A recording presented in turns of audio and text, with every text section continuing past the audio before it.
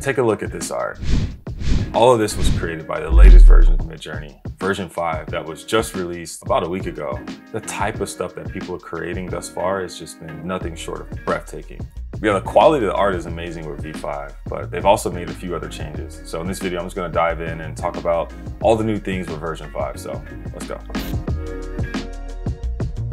So first things first, go to midjourney.com if you have an account, click on the Explore tab and just get lost in here. I mean, like I said, the type of stuff that people are creating is just quite beautiful here with version 5. And you can just kind of get a glimpse of what's possible. You can check out the prompts if you want to reuse some of those. So very impressive stuff here. You know, let's head over to the Discord and see the release notes on what V5 actually has.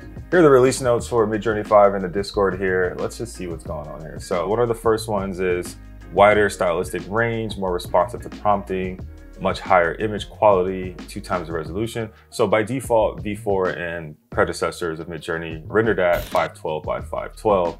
Now it sounds like they're gonna be doing 1024 by 1024. So uh, that leads me to believe that it'll probably be a little slower to render, but you know, the quality will probably be a lot better. I mean, you got twice as many pixels, so let's give it a try. Okay, so let's try something out here and let's just say photo of uh, elephant and let's see what happens. I'm already on V5. You can see right here, it says V5. And let's just try to get a feel of like how long this takes.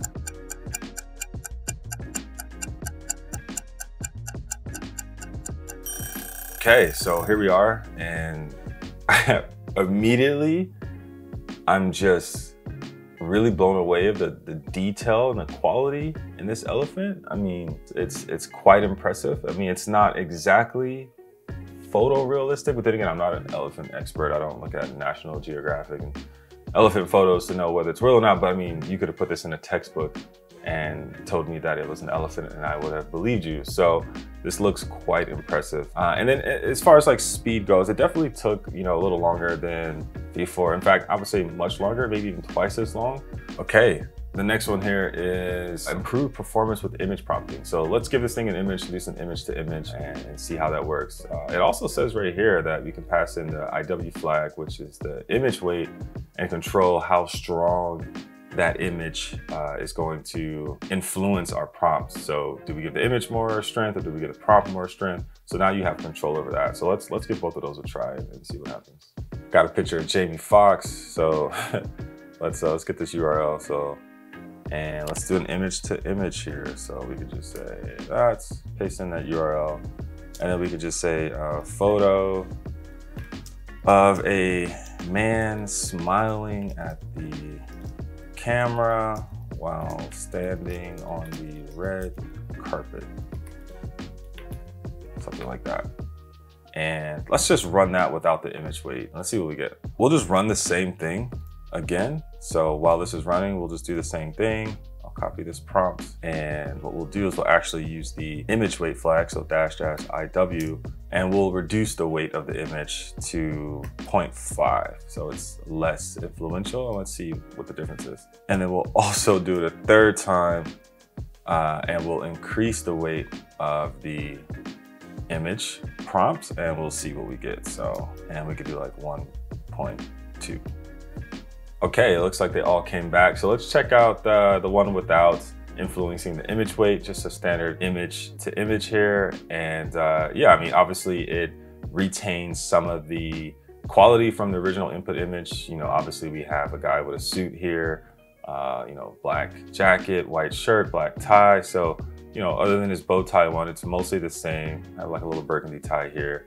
I mean, even some of the facial features, I would say most of the men here are in a brownish or tan complexion. So, you know, it's, it's trying to get there. Um, and, you know, obviously it kept into account the prompt as well. So we have the red carpet. So, you know, I, I would say that it did a really good job as far as performance. It definitely took longer than V4, but that's mainly because everything's 1024 by 1024. What about the 0.5? So image weight is now half of what it was on the previous one. So as you can see, yeah, these images start to lose you know, their likeliness compared to the Jamie Foxx input here. So like black shirt, black tie, black jacket. Uh, most of these guys, you know, don't really resemble Jamie Foxx too much. They don't really have browner skin, uh, different things like that. So yeah, this this changing this actually is very helpful. Uh, you know, I can imagine people are going to create some amazing things by being able to adjust this weight here. So that'll be really cool. And then on the other end, just cranking it up to 1.2, yeah, I can automatically tell that like some of these fake AI guys are a lot closer in similarities to Jamie Foxx than the previous ones. You know, his, his beard, his smile, his likeliness, uh, even this weird looking one over here. They're definitely trying to get there. So uh, it seems to be pretty effective. So another cool one here is supporting aspect ratios greater than 2 1. Uh, this is really cool because there's like different scenarios where I want to create art that just don't fit within the aspect ratios of something like Midjourney, uh, like for instance, like a Twitter banner photo or something like that where the aspect ratio is different. So yeah, let's give that a try because I think it can be very interesting. I wanted to add something to my Twitter banner. I was like, I was actually doing this in Midjourney with V4. I was trying to create like a futuristic basketball court, but I ended up having to crop it because the aspect ratio wasn't ideal. So let's try this now. Okay, so it looks like we rendered some basketball courts here and wow, I can just tell you right now, this is exactly what I was thinking when I typed in this prompt and and, you know, it really crushed this aspect ratio. I mean, given given the confines of the aspect ratio, it created, you know, this wide angle shot of a basketball court, which is really cool. Uh, I think this one's really the coolest one. Might actually use that in my uh, Twitter header. Let's try another one with a different aspect ratio. And let's say an aspect ratio of 9 by 16, which is like the default aspect ratio of like a smartphone. So let's see. Okay, yeah, these are definitely 9 by 16 and super cute. the flowers have ice cream on them. No, this stuff is actually really cute, but also very strange, which makes it good. So yeah, and this other one we have here is for supporting the tile argument for seamless tiling. So let's give that a shot. So we can say, imagine a brick wall, and then we can say tile like this. Okay, so then I'm just going to just pick uh, let's pick this first one. Looks interesting. So just grab that one. And just gotta download it here. Okay, and then we can check to see if this was a uh, perfect tile or not. So we just drag this into this app here. And as you can see, it is definitely a perfect tile. So if you were making a 2D beat 'em up scroller video game and needed some brick wall in the background, here you go. You can you can do it. this is actually very impressive. So wow, I'm I'm blown away. Yeah. So one of the last things I wanted to talk about as I was reading is like uh, this this bullet here. So the trade-off about the diversity of your outputs can be very responsive to your inputs. So what that really means is you should try to write longer, more explicit text about what you want, whereas like short prompts may not work as well. So I've been writing short prompts. So let's try to make a longer, more descriptive prompt here uh, and see, you know, what we can get. Wow, I am actually blown away by what they have created here. It's like some Daft Punk, uh, Genji from Overwatch type of ninja. I mean, they really did exactly what I described with the lighting, as far as it being cinematic, with the bokeh in the background, the focus, uh, the reflective neon lights bouncing off of the street. I mean, the ninja actually standing in the middle of the street and then posing as if, you know, they are, you know, extremely intimidating. So this is really cool. Um, very impressed with uh, Midjourney V5 right now. So amazing. There's, there's definitely more to this uh, V5 update than what I probably covered here.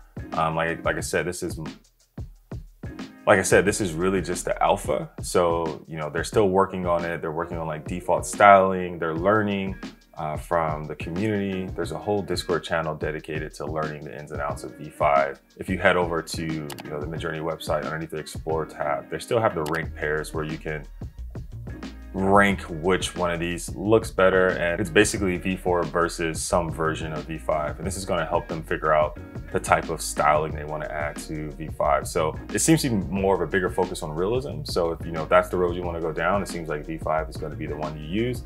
Me personally, I probably like the V4 a little better because um, although the realism is cool looking and I love it, I actually prefer some of the more wacky stuff, the illustrations and uh, water paintings and some of the 3D renders and things like that. Uh, but yeah, if I was gonna do realism, it seems like Midjourney V5 uh, is the one to go. So Uh, if you like this video, leave a like, subscribe, let me know in the comments some more things you want to see. I'm going to be doing a lot of stuff in the future, so uh, stay tuned.